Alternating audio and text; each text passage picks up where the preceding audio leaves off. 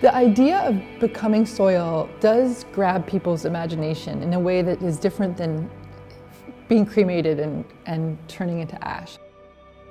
I mean, I think it has to do with the fact that we can grow new life after we've died, very literally.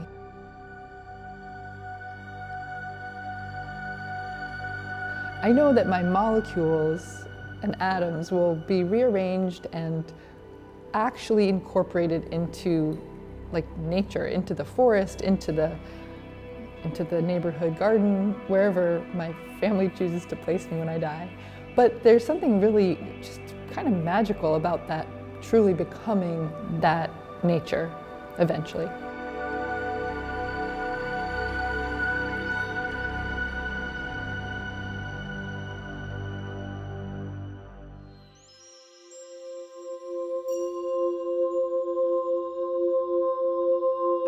Was in graduate school for architecture and a couple of things happened, I guess, to make me feel mortal. One, I had turned 30. The second thing that happened is I had two young children and one of them was at that stage where I could see him growing on a daily basis. Like he was, every morning I'd be like, look at you, you've grown another day. And I realized that, um, that I was growing at the same rate, even though it wasn't quite as noticeable on a day-to-day -day basis. I just started to feel a little bit more mortal than I had in the past. I started to think about what would happen to my body when I died. The two main options in the US are cremation and conventional burial. I don't really want either of those. I'm the founder and CEO of Recompose, which is a company that composts humans after they die. We are a full service funeral home. Here we are in the recomposed greenhouse. We named it that because it's a place where things get their start. We have 34 commissioned vessels um, on site and about 22 people inhabiting those vessels. Some people hear compost and they think, well, if you bury someone directly in the ground, that's composting. But actually they're quite different.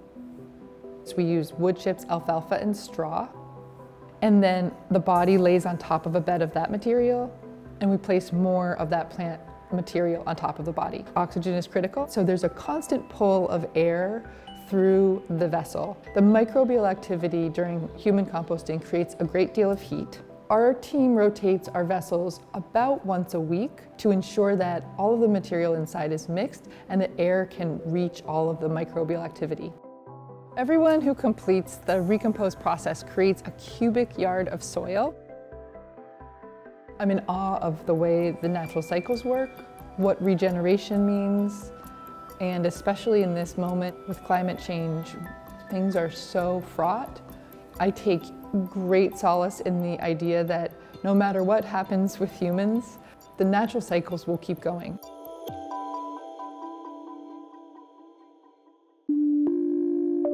Human composting takes an eighth of the energy of cremation. So with cremation, you're burning fossil gas and um, emitting mercury, particulates, and carbon into the atmosphere.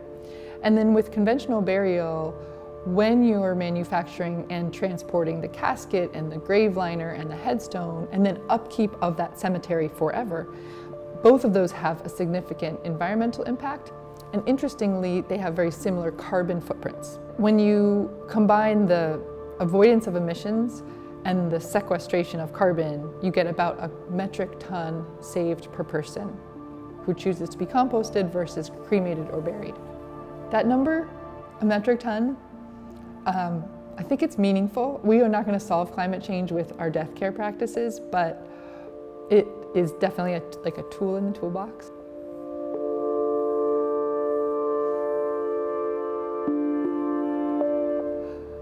Favorite stories is when this person died and his sister came to Recompose and got the whole amount of soil. And he was an avid gardener. All the neighbors came with their five gallon buckets and got some of his soil and brought it back to their gardens. That person is continuing to be part of the neighborhood where he lived.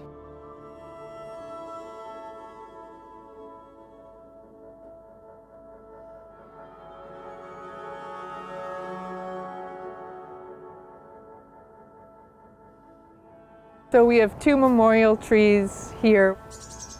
Tubi was my brother-in-law and he died about eight years ago. And he was, oh God, wonderful person. We miss him very much. And having this tree here, you know, it's just nice to think about him a little extra whenever you see it. Think of him.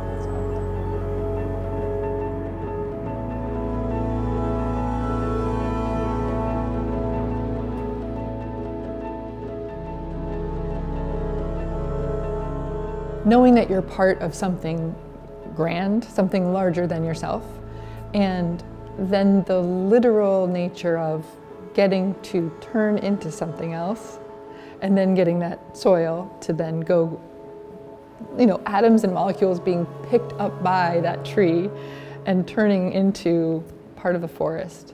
I think it's really profound.